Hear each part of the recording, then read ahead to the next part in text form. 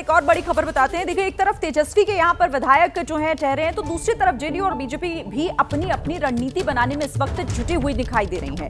Floor test से पहले ये सारी कवायद है।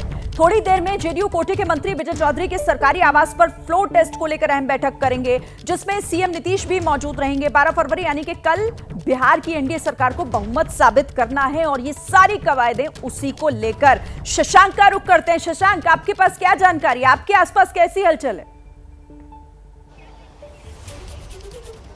देखिए पाँच बजे से जो जदयू कोटे के मंत्री हैं विजय चौधरी उनके आवास पर जदयू विधायक दल की बैठक होनी है। नीतीश भी इसमें शामिल होंगे लेकिन बड़ा सवाल ये है कि क्या सभी 45 विधायक पहुँचेंगे? कल श्रवण कुमार के आवास पर बैठक हुई थी वो भी जदयू कोटे के मंत्री हैं तो 45 में से सिर्फ़ 40 विधायक आए थे।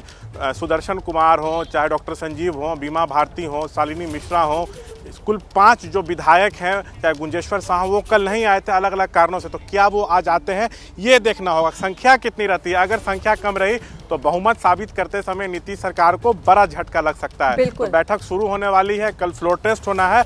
उसी को लेकर जो है रणनीति बनेगी पार्टी को एकजुट रखा जाए इसी को लेकर पूरी जो कोशिश है वो की जा रही है।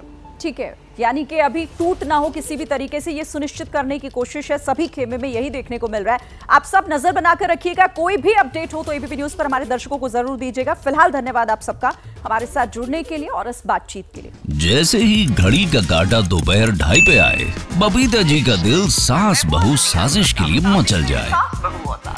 और ये है इनकी बहू।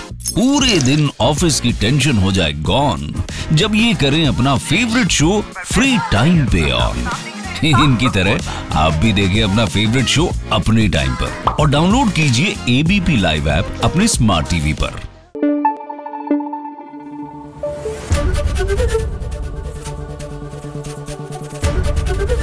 एबीपी न्यूज़ आपको रखे आगे.